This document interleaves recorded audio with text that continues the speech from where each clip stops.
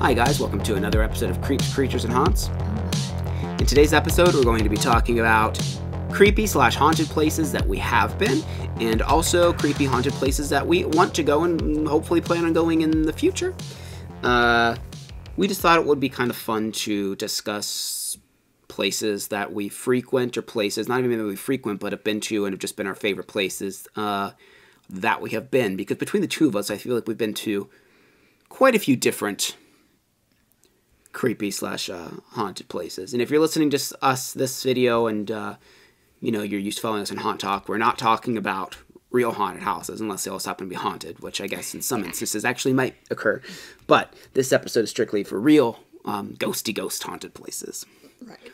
or locations or whatever. So I don't know, Kim. What is one of your favorite places that I'll, I'll let you get? Well, what is your one of your favorite places that you've been? Um, well, I have to start off with a big one. Ohio State Reformatory. Yeah, I've been there for a haunted house. I've been there for ghost hunts. I've been there just for regular daytime tours. The place is creepy. it is really creepy, and like you don't even have to have an experience to just be creeped out at that place. Just walk, um, walk through solitary confinement by yourself. If you really, yeah. Um, I enjoy I enjoyed doing that when we were there a few months back last year, which we have a video on. Um, there's a few things we caught when we were there. Not not a ton, but yeah, there's just the, the atmosphere of that place is It's really creepy. It's really like just you feel like like you walk up and down those cell blocks and you feel like there's someone standing at each and one of each one of those doors. Yeah, you definitely do. Um, and you know, a lot of it's probably just because your mind playing tricks on you because it's just dark holes of space. But I mean, that'll, but still, it's still really freaky. And I mean, just the cell blocks are so long and they're so big and like the paint's peeling Mm-hmm. and it's just very Silent Hill looking in there with how rusty everything is. Oh, it's yeah. just. And the cool thing is, is usually even if you just go for like the normal tour or, like the paranormal tour, like the paranormal tour we were on was just kind of like it wasn't it wasn't like a private, but we were allowed to go wherever we wanted, Yeah. which was nice. There was really not many restrictions. There's like a couple areas, but really when we were there, I think they had almost everything open. They had a lot of stuff because I remember the last time I was there, half of the stuff we went into was not open, and Yeah. I was like, "Wow, I've never been in here before," and it was it was actually really great to Yeah. like see more of the prison because it it, it kind of like you know. If you go to a place too many times, it's like you start to be like, okay, well, this is that, this is that, and you're like, okay, whatever. But it was nice. It was refreshing because it was like, ooh, this place is open. Ooh, Yeah. this place is open. Let's go check this out. So it was actually really nice, and of course, all those places were creepy as well. So Yeah, yeah, for sure. um, but yeah, that place that place is absolutely great, and they do a lot with the paranormal too. So if it's a place that you're interested in, you'll if, if you go to the website, you're more likely to be able to find an event that you can go to and explore it. Um, definitely, definitely worth it if it's even if it's further away from you, it is worth going to it. Um, one place I will say that I would actually uh, I would love to go back to and actually ghost hunt because we didn't ghost hunt, but we did go there for the haunt, for their actual Halloween haunt, and then we did a tour of it. Um, was Eastern State Penitentiary, that yeah. place. Now again, we didn't ghost hunt, but what's cool about their tour is it's um, a self guided tour. So again, you can just explore. I took all kinds of pictures, and the cool thing about that place is there's a lot of art kind of exhibits in random cells. yeah. Some of it's really creepy stuff. Oh yeah, like the one that had like the voice. The what was it? The voices. It was a whole bunch of different people singing prison songs at once. Yeah. Oh, that was creepy. All at once. And so it's just this cacophony of just Voices. it was weird, yeah. And you're supposed to stand in the middle of the room and just listen. And there's just like pictures of different inmates. I think it was hanging from the ceilings. Mm-hmm. Um, that place, it's very similar to Mansfield. Um, it's bigger than Mansfield. 'cause I think there's like five cell blocks. The cell blocks aren't as stacked as Mansfield though. Where Mansfield, it's Yeah. like each of their cell blocks is like three stories high. Well, could uh four, I believe. Is it four? Four. Okay. But like Mansfield only has like east and west, whereas Eastern State is actually out in like a like a um like a starburst. So I think Yes. there's like five. Yes, it has from five. like a Yes. like a there's the general hub, and then there's like you know Five. things Yep. poking out of it. So it's it's huge. It's really really big. Yeah, it it is it is really big, and again, I would love to go back there for a, a ghost hunt at some point in the future. It is kind of far from us because it's Philadelphia, so it's like what a six seven hour drive, um, or that. Yeah, oh yeah, it was it was far, but I would I would really like to go back to that place. That place was really cool. Yeah, for sure. Um, one place that I went to that Josh actually hasn't been to yet. No, and it's on my bucket list. I That's why want to take yeah. him there because this place is just so much creepy, super wow. Um, Waverly Hills Sanitarium. It was really like just. I, I don't know. The feeling. Because you know what happened there, because it was one of those tuberculosis hospitals and stuff like that.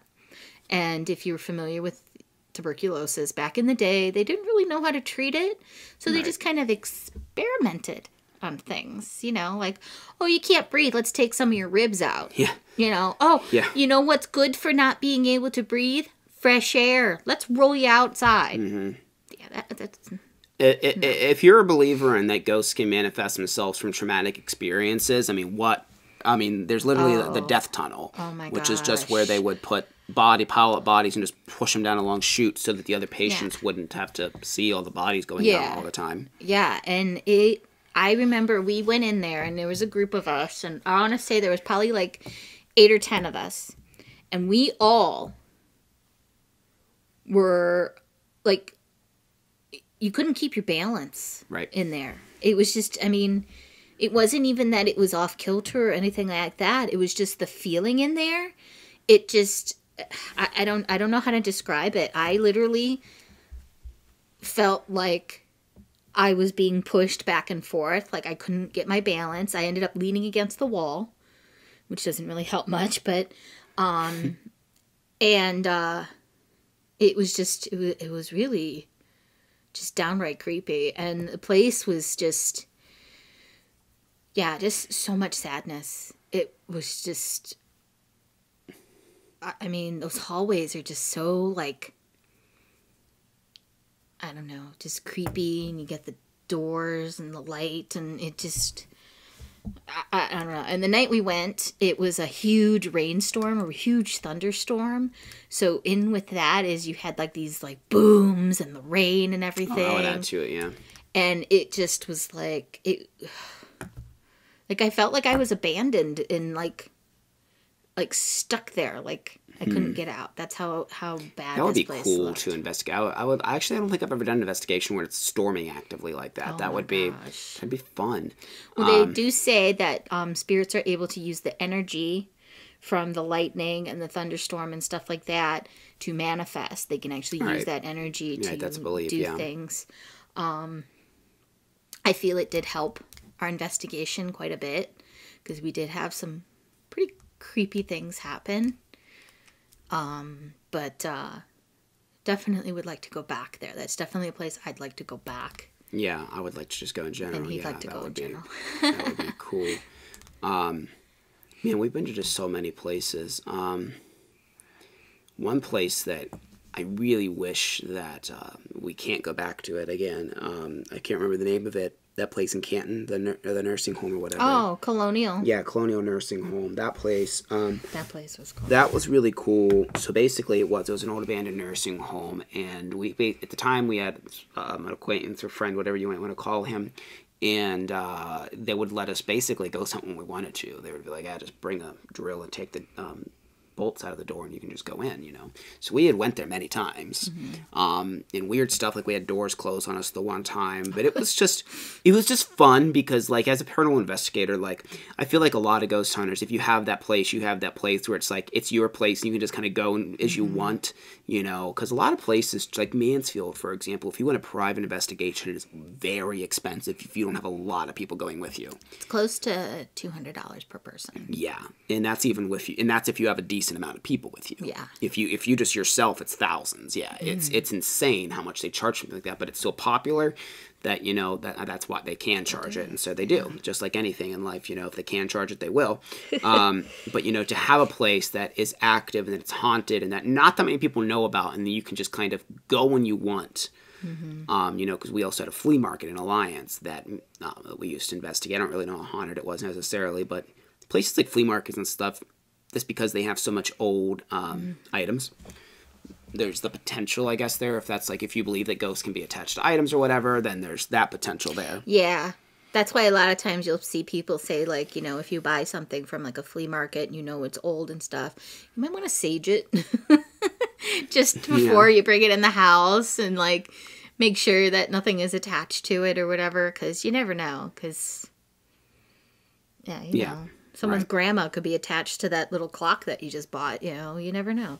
But yeah, I guess I do. I just miss having a place that was kind of like our place. We could just go hunt, ghost hunt it all the time, like an actual indoor location. But Well, another place like that that unfortunately we can't do anymore is um, Lyme Elementary. oh yeah, yeah, that was a big one. That Um, was in Bellevue, Ohio, and um, that one I used to go to a lot. Like after a while, I just kind of be like, "Hey, you guys open this weekend?" and I'd go.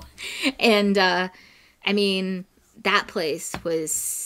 Um, if you're not familiar with it, you can actually get familiar with it if you watch our movie, The Yeah. Haunting of Lyme. That was actually filmed there. yeah, Um, that place is very genuinely haunted. Um, the spirits in the film aren't well. One of them's kind of based on yeah, some of the spirits yeah, yeah, there, yeah, but the janitor. Mhm. yeah, and uh, but uh, that place was really creepy. There was a lot of really weird stuff that happened there. Um, there was a little girl that was always there, and she would always, um, she would always come through in the ghost box, Mhm. and yeah, you would always get her, and uh, we would actually play um, games with her. We would like tell her, we would hold up like cards with colors, and be like, "What color is this?" or you know crayons or whatever whatever had a color. And we go what color is this? And you would hear through the ghost box a little girl say purple red green. And it was just it was just the coolest thing ever. But there also was some really creepy spirits there as well.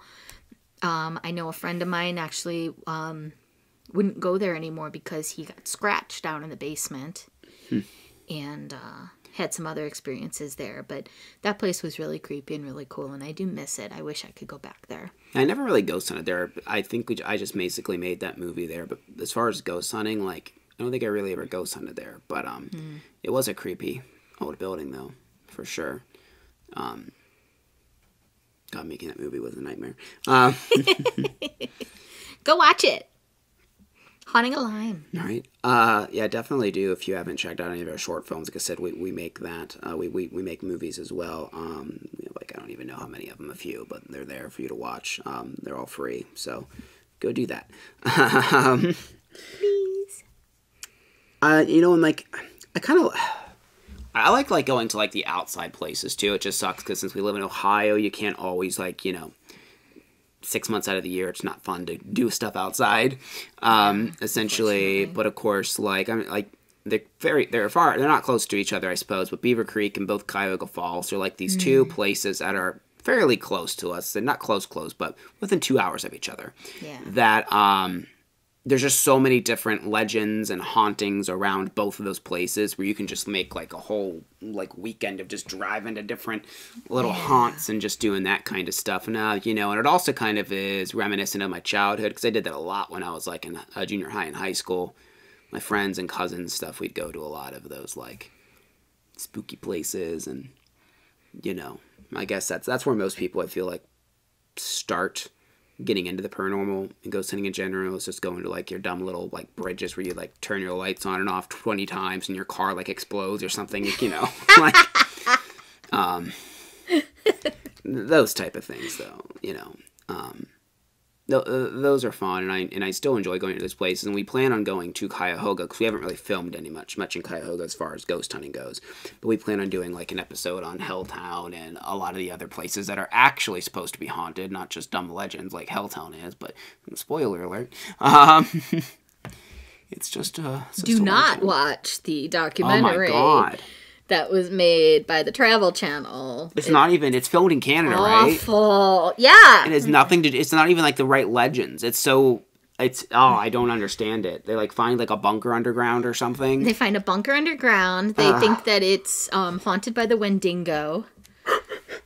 And like the Wendigo goes like into the bunker and kills all these people, and it, it like you can blatantly tell It's every insane. single actor cause, is from Canada because they've got that Canadian accent, and it's just like like I watched it. I actually gave it a chance. I watched the whole thing, and I just was like, "Wait, what?"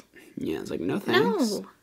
So, you know, like as soon as people saw this, probably there was like a ton of people that went down to Cuyahoga like the next weekend and was like, "Oh, well, where's that underground bunker? Where's that hole in the ground? I need to go find it or that So cement stupid. slab that they put on top of it."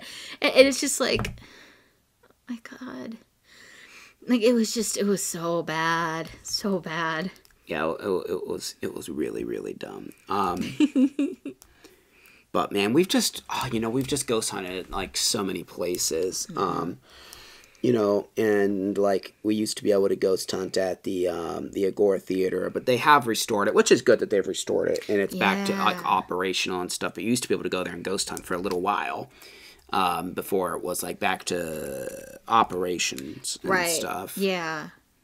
Um, that was a cool place. Um, I know you went to Franklin Castle. You you know that was a that was a place you went to that was cool. That's really hard to get into now. Mm-hmm. I know you said that we'd like to go and investigate Eastern State, but I'd also like to go to West Virginia State Penitentiary. Oh Or yeah, Moundsville, as it's known as. yeah. Neither of us have you investigated there. No. Yeah, neither of us and neither of us have surprised. We've been there, right? We've been there for Yeah. ghost, uh, for haunted houses. Yeah, Moundsville would be fun to go to because their their haunted house is weird and like you really just get to explore a lot of it. That'd be a fun one, and I know they do ghost tours there as well. So we'll have to. There's just so many places, and like I said, a lot of them just aren't cheap. So that's why it's easier just to go to these ones that are like outside and stuff like that, where you can just kind of walk up to, or like abandoned places that you're allowed to get to and stuff like that. Which even that, there's not that many of them. Um, you know, that you're actually allowed to go to, but. Yeah. Another place we plan to go to that I want to go to is Moonville Tunnel. Now that's an outside Oh, location, but I've been wanting to go there for quite some time, and it's more like ooh, it's like Cincinnati-ish area, somewhere Yeah, around it's there. More, yeah, more southern Ohio. Yeah. There's a couple other places in Cincinnati- that I know I would like to go to that are supposed to be haunted. I'd like to haunt, I like to go hunt the Dent Schoolhouse, but I don't know if they like. Well, they I think they do, don't they? They do have it. Yeah. So I'll have to do that as well. Um, you know what I mean? You as the listeners, do you have any suggestions of places that are in Ohio or surrounding that's not insanely far away that you know you would recommend us going to? Um, especially if it's a place that we don't have to like make like if it is a place like for example Moonville Tunnel where you can just go to it. Like I mean any place is cool, but like these cool abandoned like hidden places that are creepy or whatever. Even if it's not necessarily haunted, um, you know, we would like to go to it. Um, and if you're listening to this, soon we're going to be going to um, Randolph County Infirmary, um, which that'll be interesting. Uh, I don't know exactly what to expect from it. I've said I've seen a little bit about it, but I guess we'll find out this weekend. And the podcast after this one, we'll be talking about our experiences there and kind of like, you know, what we thought about. And there'll also be a video um, to go with that as well. So if you're listening to just the podcast version and want to see like actual footage of these places we're talking about, make sure you go to the YouTube channel and subscribe to it and, you know, uh, like yeah, ring the notification bell because um, a lot of this stuff is coming up. And Like Mansfield, we already have episodes on, but most of these places we don't because we weren't really filming stuff like this until recently. We basically just did short films and haunted house reviews. Um, but you know, we're doing a lot of this stuff uh, now, including this, where we talk to the microphone and I upload it in both audio and video form. So Yay. yay! We also eat things because that's something else we like to do. So enjoy that too, I guess. Okay, so let's think about like, okay, what's your bucket list place that you want to go to? Waverly Hills. That's that's the place that I that's the place that I would um th- I mean there's probably there's other places that I'd like to go um that I will never probably get to go to um like uh Poveglia Island in Italy.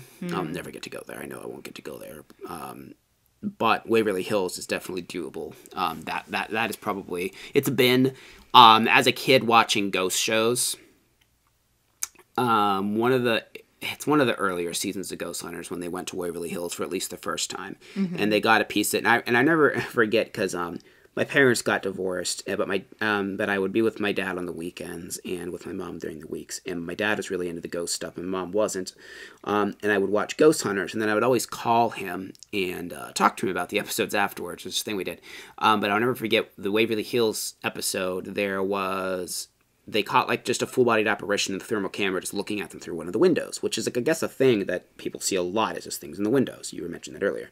And I remember like soon as a commercial break hit, I call my dad. I'm like, "You see that piece of evidence they got?" And he's like, "Oh my," because you know, I mean, again, the ghost shows were newer. There wasn't like a hundred of them like there is now. There was like two or three. ghost Hunters was really the only mainstream one at the time, though. You know, and it was just like mind blowing to me that someone caught something like that on camera and that I got to see that. And it was so exciting. My dad, you know, he was all excited about it too.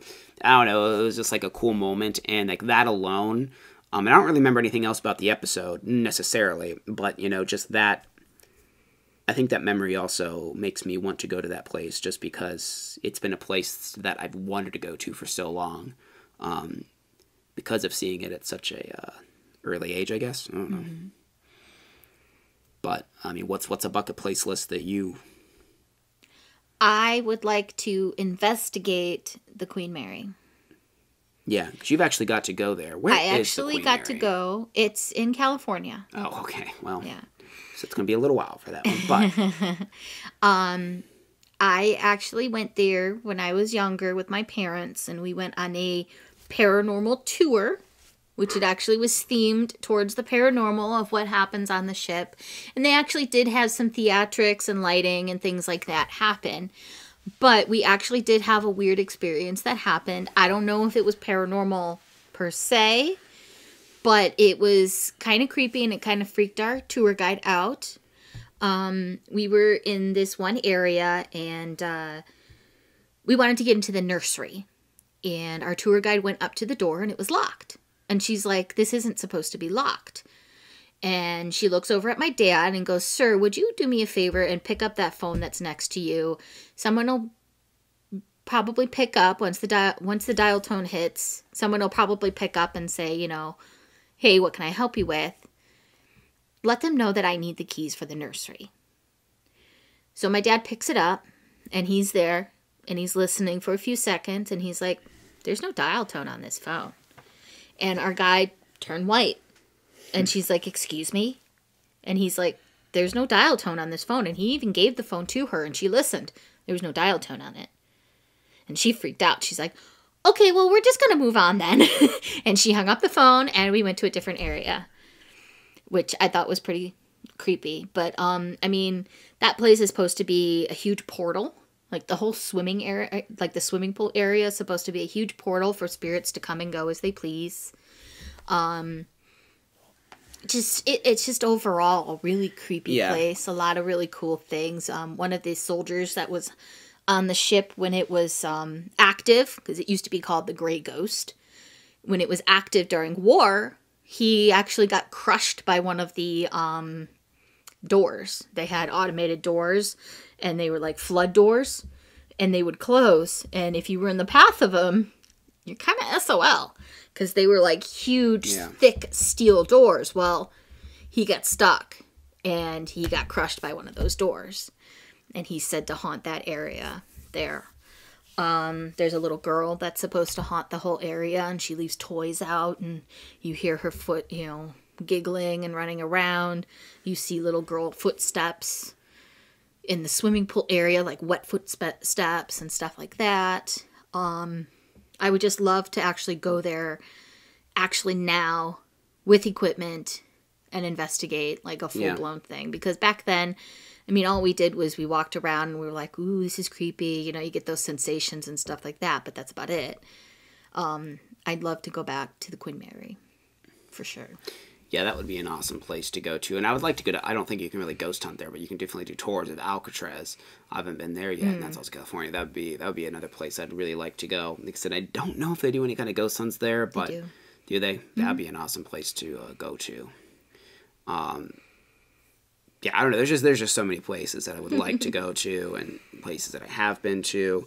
Um, never be able to get to them all because there's you know they're all scattered all throughout. Um, you know, I wish I was brave enough to do some of the stuff like they do in like the adventure type paranormal shows, like you know the Destination Truths and that, where like you go out to like the middle of the jungle and all that. But I'm like, that just no. Scuba diving and yeah, like that, investigate a ship that's underwater. like the idea of it is thought fun, but like then you go to do- I mean like no, that's good. I'm good.